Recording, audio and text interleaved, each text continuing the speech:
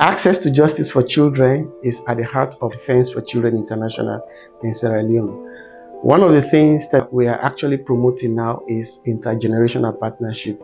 This is because we want to understand how people from different generations experience the justice system and the world at large.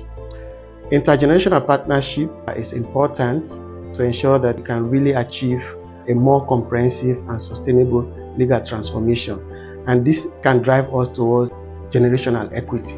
Really reforming our justice system or rethinking the way we deliver justice in this country. Really crucial part of this process has been how we redefine child justice, how we reform our juvenile justice system, you know, how we put children at the center of our investment in child rights. And that is why we have been very deliberate in working with DCI as an institution which has been in this space for very many years, you know, in which Yaman continues to work with children across this country because we really want that intergenerational partnership.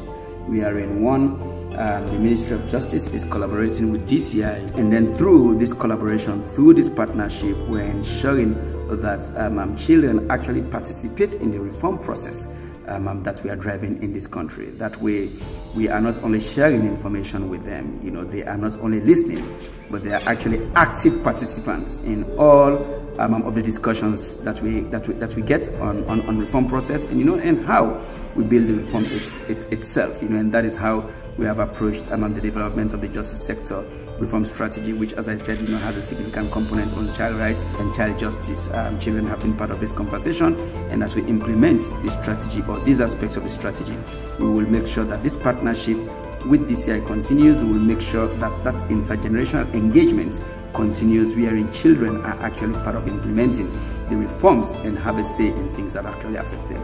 Implementation of the reforms is essential as much as uh, we have been advocacy and also contributing to setting up of the legal framework.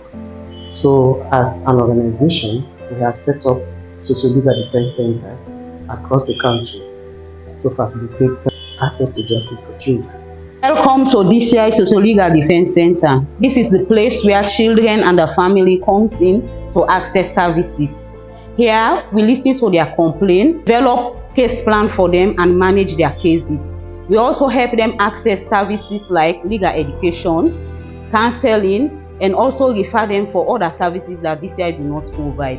Another important thing we do at DCI is we go to the courts and the police and we advocate for cases of children in conflict with the law to be diverted to our social legal defense centers for cases to be settled without resorting to criminal proceedings. With the support of Defense for Children International Sierra Leone and Legal Empowerment Fund, we the young people have established our own social legal defense centers in our communities. We monitor reports child rights abuse cases to the police, DCI, Ministry of Gender and Children's Affairs. And as well, we also advocate for children in conflict with the law to get justice and mercy.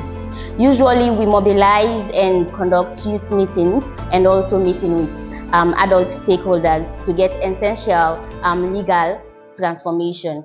And all this work, we do it under the supervision of DCI lawyers and we feel legally empowered.